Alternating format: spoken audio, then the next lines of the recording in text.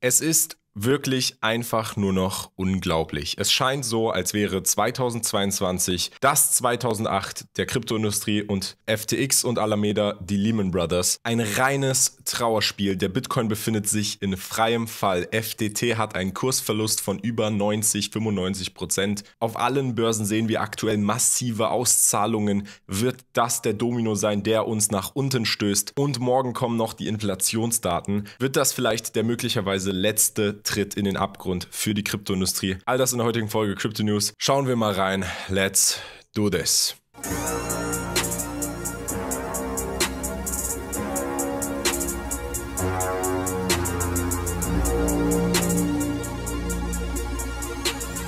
Ja, Leute, es ist wirklich einfach nur noch unglaublich. Ich kann persönlich nicht in Worte fassen und ich bin in dieser Szene seit drei Bullenmärkten. Seit über sieben Jahren beobachte ich, was in dieser Szene passiert, was in den letzten 48 bzw. 72 Stunden passiert ist. Wir werden zu allem kommen. Fangen wir erstmal mit dem Wichtigsten an und zwar gibt es Neuigkeiten zum Thema FTX, der zweitgrößten Börse. Ihr wisst ja mittlerweile schon den Hergang, was da passiert ist. Und Binance hat jetzt geupdatet und quasi veröffentlicht, dass nach einem ersten Blick in die Bücher, das heißt in die Bilanzen von FTX, es sehr unwahrscheinlich ist, dass Binance FTX übernehmen wird. Und das ist für mich mich meiner Meinung nach die letzte finale Bestätigung gewesen, dahingehend, dass es Löcher in FTX-Büchern gibt, die nicht damit zu verantworten sind, dass es einen Banklauf gab, sondern tatsächlich mit den Assets der Nutzern scheinbar spekuliert wurden. Wir haben keine Informationen. Es gab jetzt noch keinen Insiderbericht oder ein Statement von FTX, aber für mich kann es nicht mehr eindeutiger werden. Es ist wirklich einfach nur unglaublich und falls das stimmen sollte,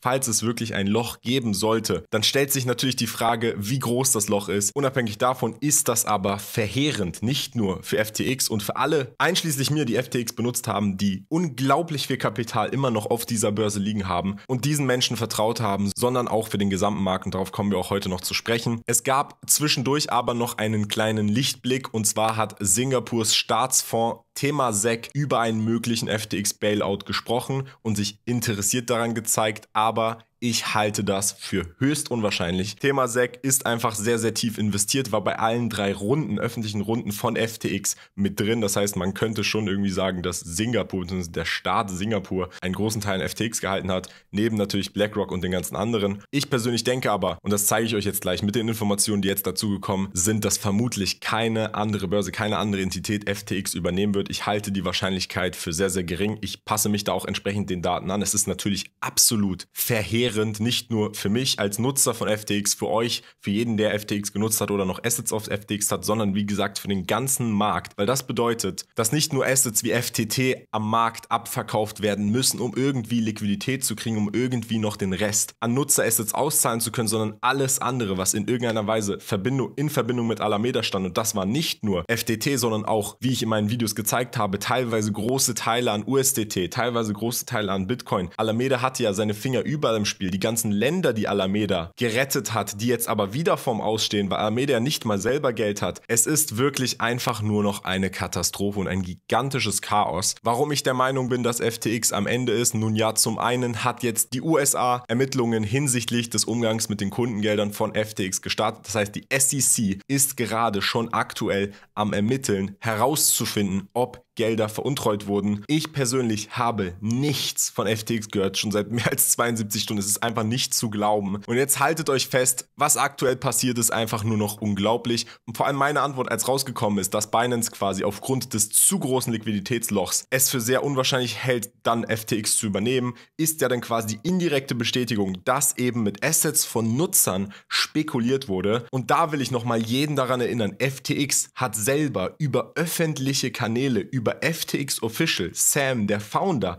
hat selber Stunden bevor es einen Zahlungsstopp gab, bevor die Withdrawals pausiert wurden, die Auszahlung bei FTX, noch getweetet, dass alles in Ordnung wäre, dass ausreichend Liquidität da ist und dass nicht mit den Assets der Nutzern spekuliert wurde. Das heißt für mich, dass mindestens Sam oder mindestens eine Handvoll Menschen in den oberen Rängen von FTX darüber Bescheid wussten, aber wissentlich und intentionell falsche Infos verbreitet haben und das geht für mich meiner Meinung nach in die Richtung Betrug. Es geht in die Richtung Betrug, weil du diese Information nicht verbreitest verbreiten kannst, nicht über deine öffentlichen Kanäle, wenn du weißt, dass du Milliarden an Löchern hast und Menschen ihre Gelder nicht bekommen und deswegen, weil sie auf dich vertrauen, auf deine offiziellen Informationen bauen, die du dir mit deinem Bild und deinem Status, den du über die letzten zwei Jahre aufgebaut hast, mit deinen ganzen Arenen, die du gekauft hast, mit den ganzen Tom Bradys und welchen Basketballspielern, die du eingekauft hast, aufgebaut hast und jetzt missbrauchst, um effektiv die Gelder der Nutzer zu klauen und anders kann man das nicht beschreiben. Es ist ein Skandal. Und das Schlimmste ist, was jetzt auch noch passiert ist, den Tag über hat Sam angefangen, diese Tweets, von denen ich hier spreche, wo man sieht, dass er am 7. November noch schreibt, FTX ist fein, Assets sind fein. Ihr wisst es ja, ich habe ja in meinen Videos drauf verwiesen, weil ich ja auch noch daran geglaubt habe, im naiven Glauben war, diesem Menschen vertrauen zu können. FTX has enough to cover all client holdings. We don't invest client assets. Hat er jetzt gelöscht. Er hat die Tweets gelöscht. Es ist unglaublich. Wem kann man noch, wenn so etwas passiert, in dieser Industrie glauben? Ich habe es ja auch nochmal geschrieben. Ich hoffe, alle werden zur Rechenschaft gezogen, die wissentlich falsche Informationen verbreitet haben. Ich habe hier auch nochmal getweetet, das Kartenhaus um FTX und SPF ist in diesen Stunden am Zerfallen. Ein reines Trauerspiel. Einmal eben diese Tweets, die von FTX offiziell und von Sam angefangen wurden,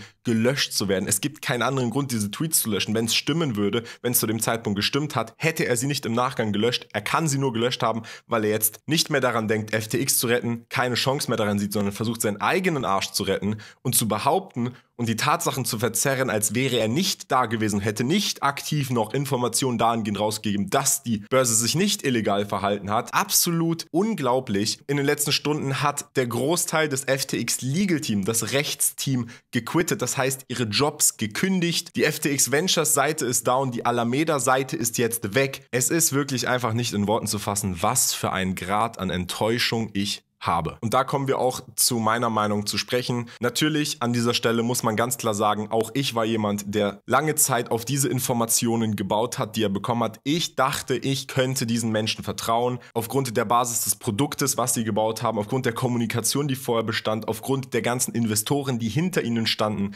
Aber ich wurde enttäuscht, ich lag falsch. Und jetzt muss auch ich für diesen unglaublich fatalen Fehler von mir selber quasi büßen. Ich habe es auf Twitter getweetet, auch ich habe diesen Spruch Not your keys, not your coins heute über den harten Weg lernen müssen, denn auch ich habe immer noch siebenstellig auf FTX liegen. Und ich versuche dieses Geld in meinem Kopf aktuell schon so zu behandeln, als wäre es weg. Und was mich auch eine Zeit lang gekostet hat, beziehungsweise die letzten zwei Tage gekostet hat, war zu verstehen, dass zwar CZ die Person war, die das Ganze ins Rollen gebracht hat und vielleicht auch böswillig, vielleicht wollte er auch FTX übernehmen, vielleicht war alles von Anfang an geplant, mag ja sein, aber am Ende des Tages, das waren auch meine Worte bei der Luna-Sache, ist nicht die Person verantwortlich, die Luna zum Sturz gebracht hat, selbst wenn es ein Angriff war, sondern das Team von Luna, das überhaupt Angriffsfläche geboten hat, das überhaupt ermöglicht hat, dass so etwas passiert und das Gleiche ist in diesem Sinne auf FTX übertragbar. FTX, Sam und alle, die involviert sind, die angefangen haben, mit Nutzer-Assets zu spekulieren, was sie niemals hätten machen tun, die angefangen haben, sich so ein legites und so ein sicheres und vertrauenswürdiges Bild aufzubauen, das haben sie ja nicht mal nur vor uns, sondern vor den größten Investoren der Welt, BlackRock, Softbank, Sequoia, dem Staatsfonds von Singapur und den ganzen Regulierungsbehörden, die schon mit FTX zusammengearbeitet haben und es dann aber ausgenutzt und uns alle enttäuscht mit unseren Assets spekuliert, ein Liquiditätsloch verursacht und diesen Angriff ermöglicht. Es ist die Schuld der Person, die diesen Angriff ermöglicht hat. In einem freien Markt wird jeder, wenn er die Chance hat, die Chance nutzen, sein Kapital effizient einzusetzen. Dementsprechend habe ich da auch keine Hard Feelings mehr gegenüber CZ. Es war eben ein Prozess, das Ganze zu verstehen. Ich dachte am Anfang, es wäre unbegründet. Ich dachte, es wäre Fat. Ich habe den Tweets von Sam und FTX geglaubt. Am Ende hat sich herausgestellt, es war anders. CZ hatte recht. Er hätte es nicht so machen können. Er hätte es hinter den Kulissen klären können. Es hätte einen anderen Weg geben können, dem nicht so viele Menschen ihr Geld hätten verloren müssen. Aber trotzdem kann man nicht CZ dafür blamen, sondern muss einfach fairerweise sagen, es ist reine Schuld von den Personen bei FTX, die darin involviert haben. Und ich persönlich weiß, dass ich einfach nicht anfangen kann. Das ist auch eine Erkenntnis, die über die letzten Stunden gekommen ist, anderen Instanzen, über die ich keine Kontrolle habe, die Schuld für mein Verhalten zu geben. Ich war am Ende des Tages der, der sich dazu entschieden hat, diese Coins auf dieser Börse zu lassen. Deswegen muss ich mich selbst dafür verantwortlich machen, für den Verlust, falls ein Verlust entstehen sollte. Wie gesagt, es ist noch nicht alles safe, aber das ist jetzt quasi meine Einschätzung und die teile ich so transparent und ehrlich mit euch. Da muss ich mir einfach an die eigene Nase packen dafür. Ich habe es auch nochmal getweetet, mein Vertrauen wurde massivst missbraucht. Ich bin enttäuscht von CZ und von Sam, aber am meisten meisten von mir selbst, dass ich mich blenden lassen habe. Hier seht ihr es auch nochmal. Vor einem Tag hat FTX, der offizielle Account, noch geantwortet. Also gibt es nichts, worüber man sich Sorgen machen könnte. Als Zitat auf den Tweet von Sam, wo er noch sagt, alles ist gut. Wo dann Leute gefragt haben, ist alles in Ordnung? Und sie sagen, ja, alles ist noch gut. Also wirklich einfach nur unglaublich. Ich muss an dieser Stelle nochmal eine Sache sagen. Es war einfach wirklich mein Fehler, dass ich dieser Plattform vertraut habe. Jeder, der sie benutzt hat, weiß, wie gut sie war. Ich glaube, ich bin damit aber auch nicht der Einzige. Wirklich die intelligentesten Köpfe im Crypto-Space auf Twitter hatten Affiliations in irgendeiner Weise mit FTX, haben sie benutzt, haben sogar teilweise Geld noch drauf. Es hat wirklich alle erwischt, weil es einfach so unabsehbar war. Meine persönlichen Learnings, das habe ich auch auf Twitter getweetet zu dem Ganzen, um in irgendeiner Weise noch zu versuchen, zumindest etwas Positives aus dem Ganzen zu ziehen. Was bringt nichts, quasi sich dann in sein Zimmer einzuschließen und traurig zu sein, egal wie viel Geld man verloren hat, ist erstens und das ist das Wichtigste an dieser Stelle, not your keys, not your coins, egal wie alt dieser Spruch ist, egal wie sehr man denkt, wie modern und reguliert die Börsen heutzutage sind, man darf nicht vergessen, wofür eigentlich Bitcoin steht und das ist Self-Custody. Die Eigenaufbewahrung von Coins, dafür wurde Bitcoin erschaffen. Nicht, dass wir wieder unser Geld und unsere Assets in die Händen von zentralisierten Institutionen geben, bei denen wir keine Einsicht haben, was wirklich hinter den Kulissen passiert, bei denen wir nicht wissen, wie viele Leichen sie im Keller haben und am Ende einfach nur enttäuscht werden können. Als zweites Learning habe ich geschrieben, Don't get emotionally attached. Die gleichen Personen, die gestern noch die Helden waren, können morgen die Bösen sein.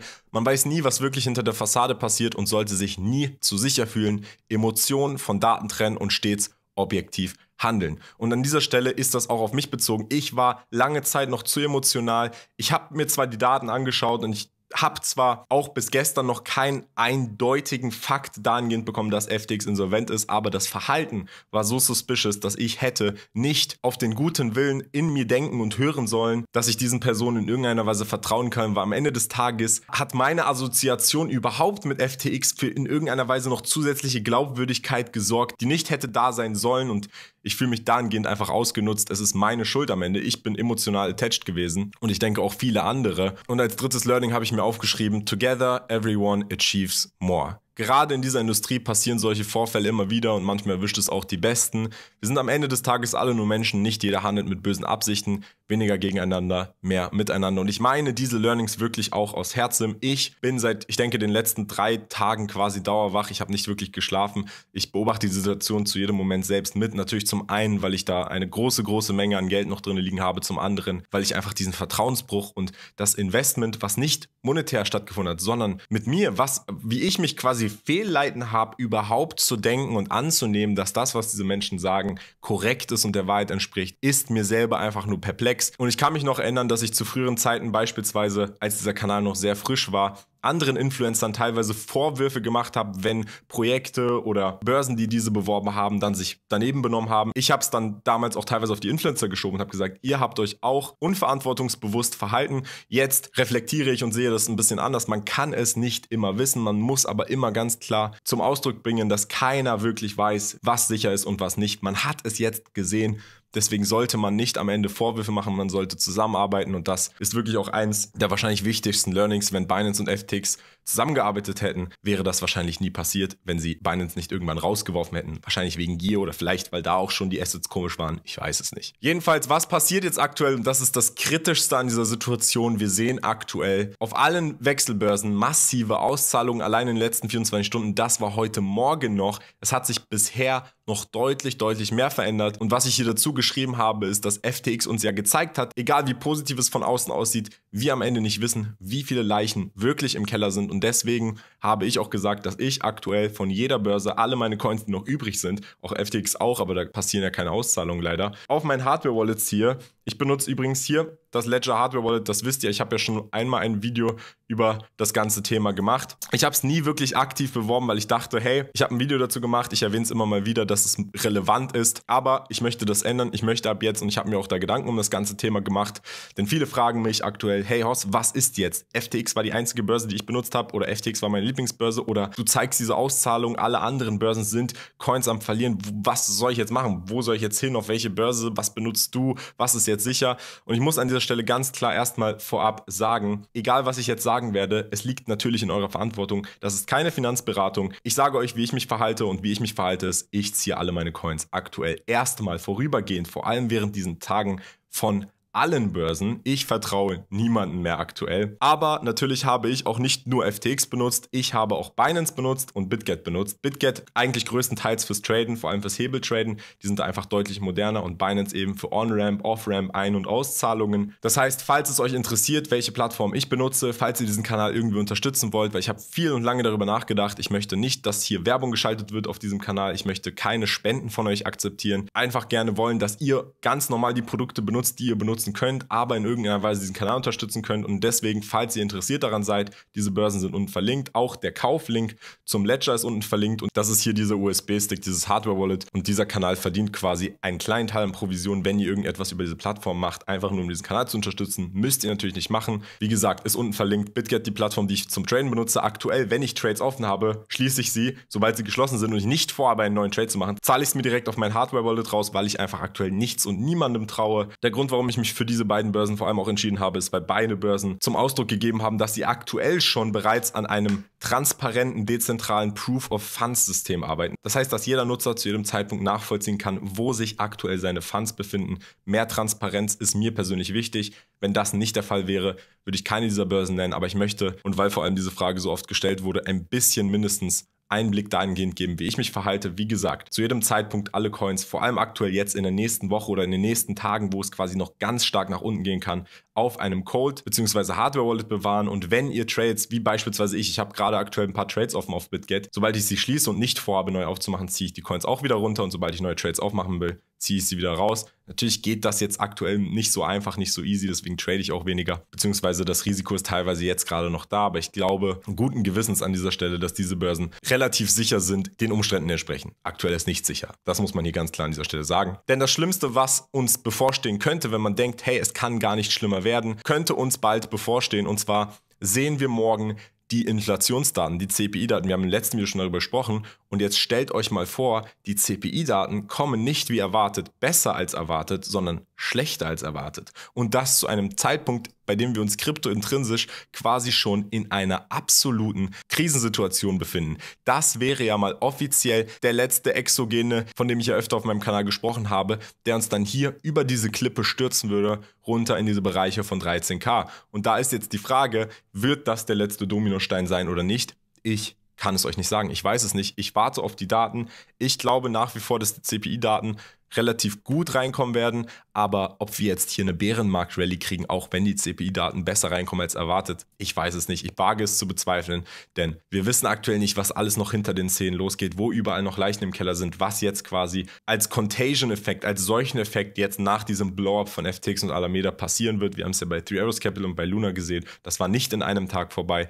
Deswegen will ich hier keine falschen Hoffnungen verbreiten. Selbst wenn die Daten positiv sind, könnten wir einen Up-Move sehen, aber ich glaube nicht. Und habe da auch meine Meinung dahingehend wieder verändert, einfach den Daten entsprechend, weil ich verhalte mich entsprechend der Daten, dass dieses ganze FTX-Drama erstmal den Kryptomarkt auf jeden Fall drücken wird. Ich würde sagen, Leute, es bleibt nichts anderes als abzuwarten und zu schauen, was morgen passiert. Ich werde morgen ein Update-Video dazu machen und ich bin vor allem sehr, sehr aktiv auf Twitter, ist unten verlinkt, könnt ihr gerne abschauen. An dieser Stelle noch einmal kurz. Ihr versteht das nicht. Ich weiß nicht, wie ich in Worten ausdrücken soll, was für eine Enttäuschung ich habe. Es ist einfach ein Moment, wenn ihr mich gefragt hättet und das ist, sage ich auch so offen und ehrlich. Wenn ihr mich wahrscheinlich vor ein paar Monaten gefragt hättet, hätte ich wahrscheinlich gesagt, dass die Chance, dass das passiert, dass FTX und Alameda insolvent gehen, bei 1 zu 100 liegt. So ein Risk-Reward hätte ich für den Trade eingenommen. Ich hätte wahrscheinlich die Gegenseite des Trades sogar eingenommen. So überzeugt war ich davon.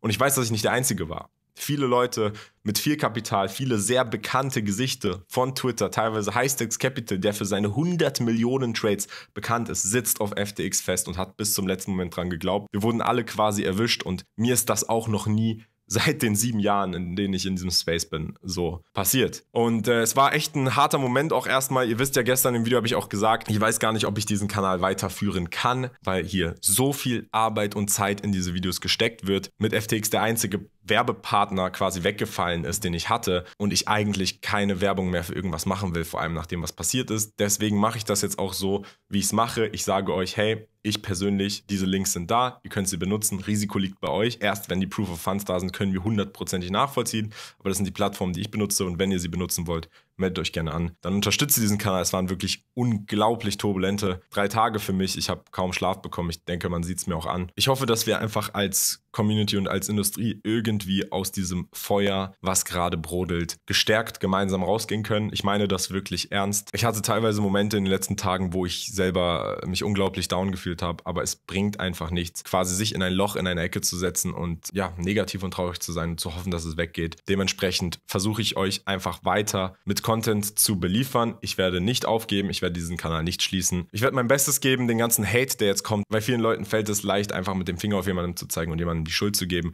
Ich werde versuchen, das auszublenden. Es fällt mir wirklich schwer, weil ich selber auch einfach so enttäuscht bin. Aber ich war die letzten knapp zwei Jahre für euch da und ich werde es auch hoffentlich weiterhin für euch sein. Das war's von dem Video. Ähm, ja, ich hoffe, es hat euch gefallen und ich hoffe, dass es sich irgendwie bessert. Peace.